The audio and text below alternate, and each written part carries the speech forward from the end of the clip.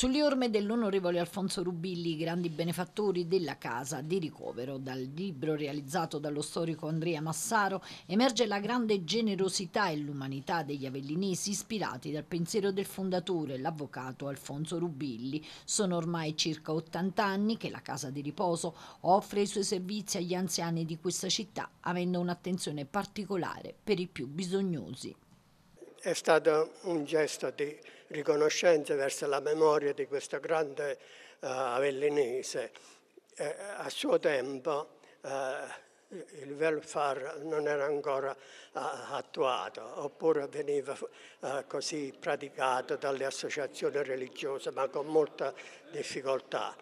E quindi l'onorevole Rubilli pensò di raccogliere un'istituzione che potesse dare un sollievo alle persone sole, specialmente le persone più povere della città, eh, e impegnò tutte le sue sostanze ricavate dall'attività di parlamentare, dalla grandissima attività di grande avvocato che è stato nel foro di Avellino. Eh, I cittadini di Avellino chiudevano le botteghe per andare a, sen- per andare a sentirle nelle aule del tribunale e ha investito questa somma per uh, realizzare questa casa ed è stato subito imitato da tantissimi altri cittadini della provincia, di altre, di altre zone.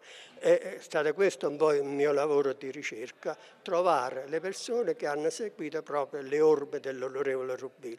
E ne abbiamo trovate tante, tante, tante che hanno consentito la sopravvivenza di quest'opera che ancora oggi svolge la sua missione a favore del, eh, delle persone sole, le persone bisognose.